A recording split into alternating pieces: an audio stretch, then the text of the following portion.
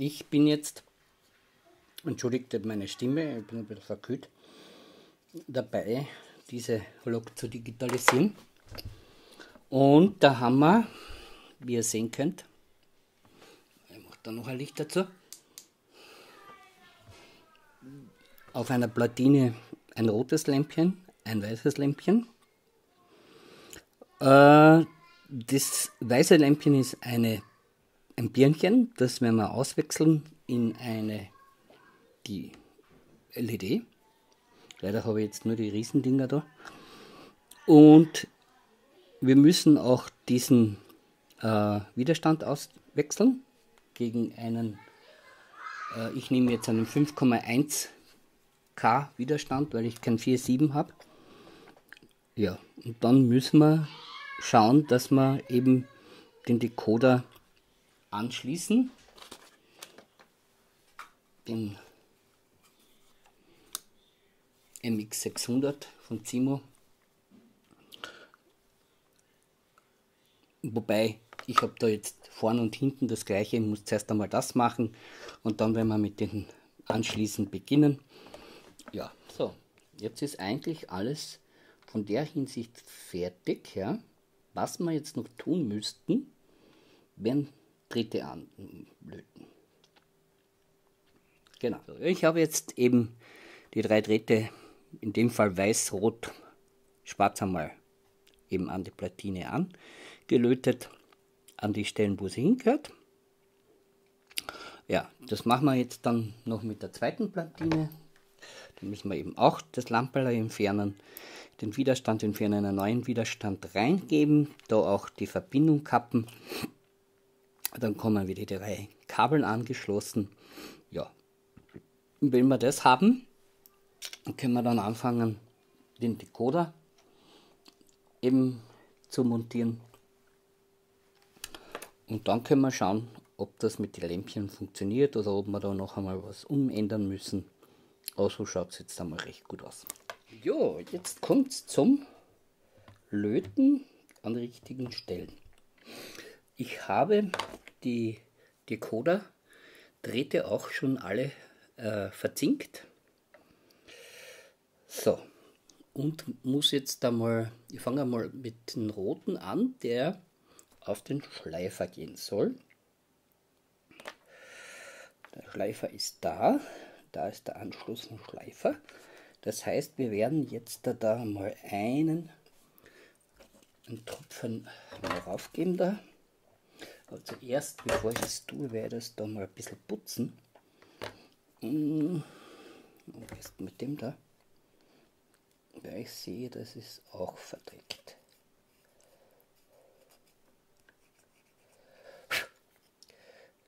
Wenn ich schon dabei bin, sollte man den Schleifer da einmal putzen.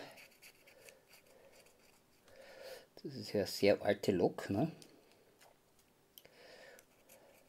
Wieder von Kleinbahn. Und zwar eben die Diesellok 2066104 von der ÖPP.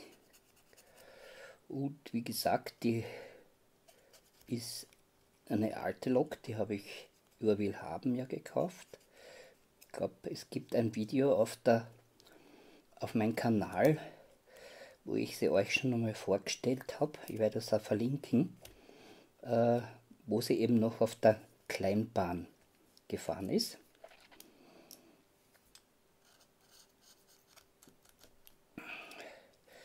Da kann man mal schauen, wie der Kontakt da ist. Passt, wenn wir da auch ein bisschen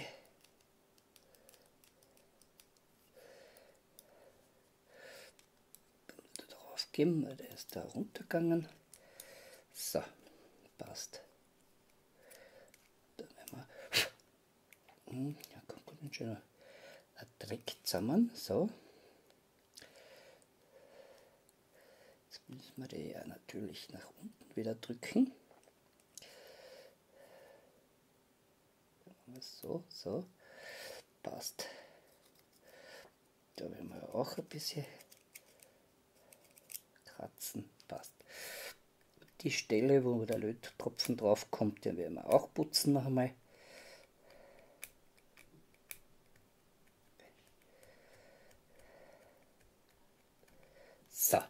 Gut. Dann machen wir mal den Löttropfen da drauf. So. Dann machen wir so. Passt. Den haben wir. Sehr gut. Wie gesagt, da kommt jetzt der rote Draht. So, also wir beginnen mit dem roten an den Schleifer. Den Lötropfen haben wir. werden da ein bisschen abzwicken. Passt. Ja. dann werden wir das da. Passt. Gut. Der ist drauf. So, schwarz geht zur Masse. Die ist da, da haben wir einen alten Tropfen drauf, den werden wir uns da versuchen mal wegzubekommen. Das alte ziehen da.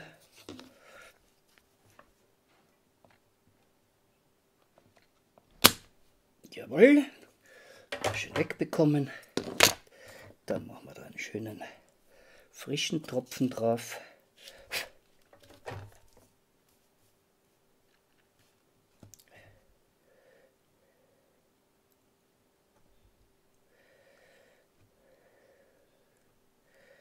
So, da ist ein schöner frischer Tropfen drauf.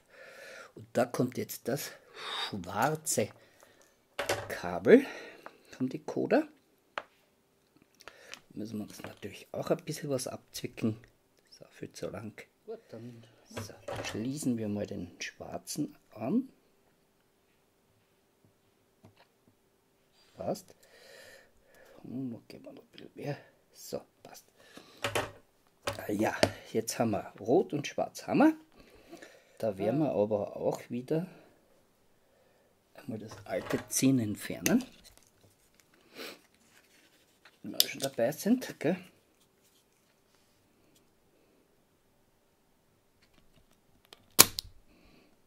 Mhm. Das fasziniert mich das Gerät da. Ich habe eigentlich gedacht, ich werde das Gerät verwenden, weil ich das eh nicht kann. Aber jetzt da verwende ich es und bin echt fasziniert davon. Das immer schön das runterholt. So, also Leute, was ich auch jetzt sehr stolz bin mit den Tipps, die ich so mir eingeholt habe, ist meine Lötspitze immer schön verziemt bereitet mir kein Problem mehr.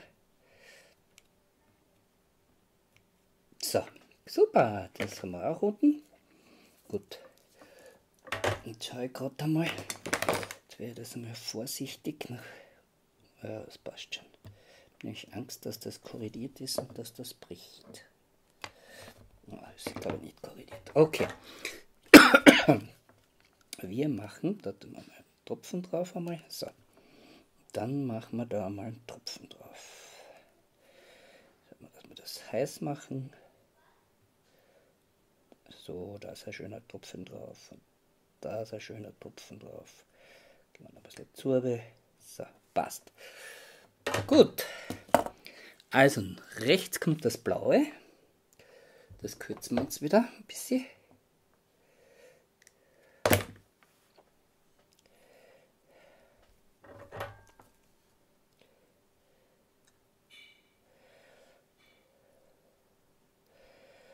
Passt. Dann müssen wir ja da noch einen Kondensator, einen Keramikkondensator draufgeben. So, da. Ah, wisst ihr was, ich mache zuerst noch den grauen. Der graue soll nach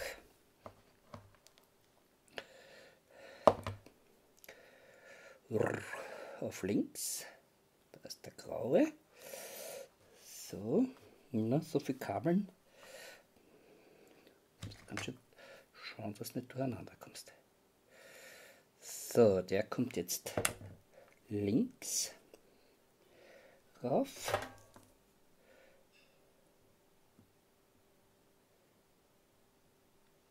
So. Dann gebe ich da aber noch ein bisschen Tropfen drauf bei der linken Seite.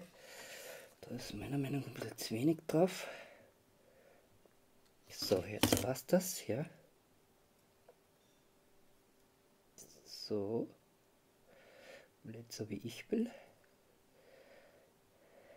So. Passt. Und jetzt müssen wir da noch diesen Kondensator drauf tun.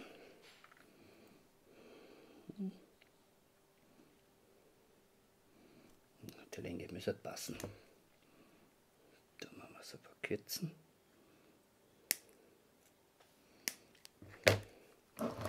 So. Und so,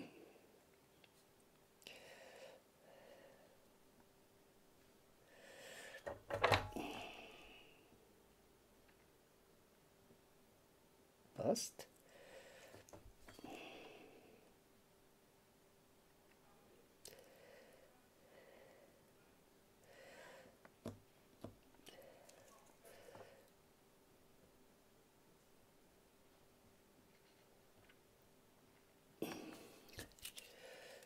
Da. drauf kriegen. Passt. Ne? So, passt. So. So. Passt. Die Kabeln halten, der Kondensator hält. Jetzt will ich noch Probeweise. Na, das muss ich ausgehen. So. Jetzt kommen wir eigentlich zu den Lichtschaltungen. Gut. Damit ihr das jetzt auch seht, ich habe, weil ich jetzt doch die roten LEDs ausgetauscht habe, alle Kabeln gekürzt. Also ihr seht, nach vorne geht der gelbe und der braune. Der gelbe ist für das weiße Licht, der braune ist eben für das rote Licht, blau ist für den Strom Hinten ist halt orange, weiß und blau. Ja, und wir haben eben da die Verbindung zur Masse mit schwarz, da die Verbindung zum Schleifer mit dem roten Kabel. Das blaue Kabel, das habe ich, eben mit, den, mit diesen zwei blauen zusammengetan, damit die Lichter eben den Strom bekommen. Was ich eben jetzt da beim neuen Aufmachen und neuem äh, und das Auswechseln der roten Birnchen gemacht auch habe, ist eben, dass ich die ganzen Kabel gekürzt habe, dass ich nicht so ein Kauderwäsch habe. Jetzt habe ich, brauche ich nicht so viel Platz für die Kabeln. Das wird sich jetzt dann schön ausgehen. Ja. Jetzt ist es dann wirklich ganz aufgeräumt, wie ihr seht.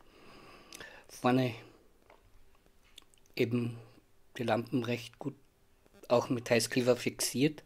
Diese Platine auch hinten den Motor habe ich nach unten geklebt, weil er eben äh, nicht mehr gut haltet und dann herausspringt und dann eben der Antrieb nicht wirklich funktioniert.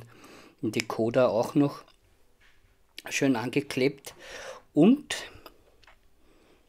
wie ihr sehen könnt, habe ich auch die Kabeln mit dem Kabelbinder so zusammengetan, dass sie auch eben nicht mit dem Motor in Verbindung kommen, weil das wäre dann auch blöd.